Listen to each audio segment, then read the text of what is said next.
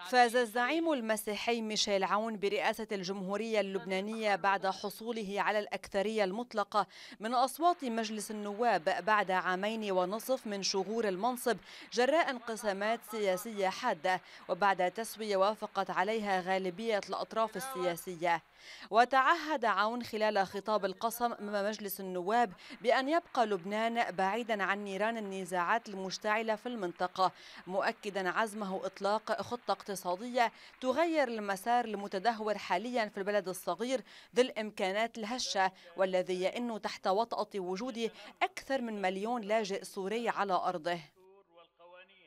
إن لبنان السائر بين الألغام لا يزال بمنأى عن النيران المشتعلة حوله في المنطقة ويبقى في طليعة أولوياتنا منع انتقال أي شرارة إليه.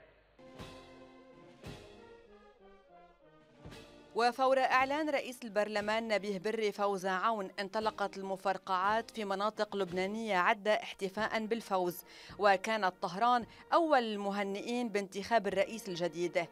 ووصل عون بعدها في موكب رسمي إلى القصر الرئاسي في بعبدة شرق بيروت حيث استقبله الحرس الجمهوري والفرقة الموسيقية التابعة له.